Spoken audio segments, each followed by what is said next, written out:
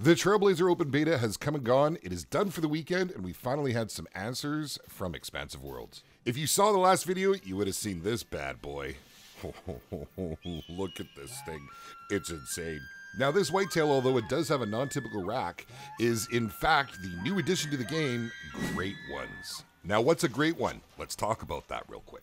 Great One is an extremely rare new badge, essentially above a diamond to my understanding, that will be extremely hard to find. Now, the one constant you're going to see with these great ones, and this one just happens to be the first edition, the whitetail, is that they will have a difficulty rating of a 10 fabled. So essentially, you're looking at a new level, whereas we ended before on a 9 legendary, you now have 10 fabled. According to Expansive Worlds, each great one can differ there's going to be a certain random element, i.e., the racks may be different, different amount of tines, the fur variations, etc. Now, Expansive World's idea or thought process behind the great ones is that urban legend of the animal. It's that elusive animal that was spotted down by the river with a propane bottle stuck between its antlers, as TK said on stream.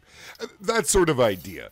This is the animal that is extremely rare and talked about, and it is a major accomplishment to find it in your game. Now, I, for one, I love this. I think it gives us a whole new reason to get out there. We're no longer looking for just the diamonds, but the chance at something truly, truly memorable. And imagine what this would look like showing off in your trophy lodge. Check this out. that would be awesome. Now, one other thing that Expansive Worlds mentioned, TK gave some thoughts, and he thinks it would be great when these are released to the game, because they will be, by the sounds of it, released individually, that the patch notes would simply say, Great One added. It gives us a reason to hunt all those other maps we haven't been onto. We're, we're not going to know where it's added, if that is in fact what they do. I personally think this is a very welcomed addition to the game. It gives us more point, more purpose, something to strive for. Those really, really elusive animals that the diamonds used to be.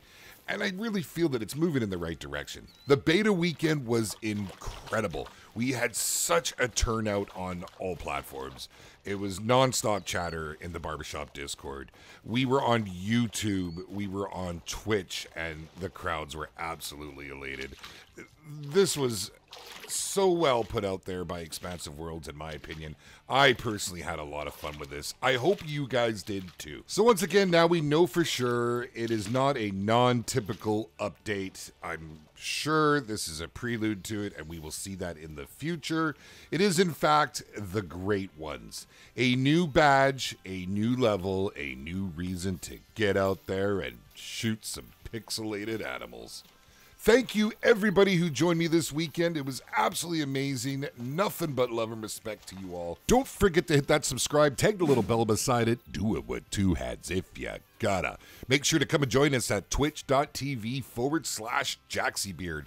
Join the stream fam over there as we tromp around, and oh, it's just such a good time.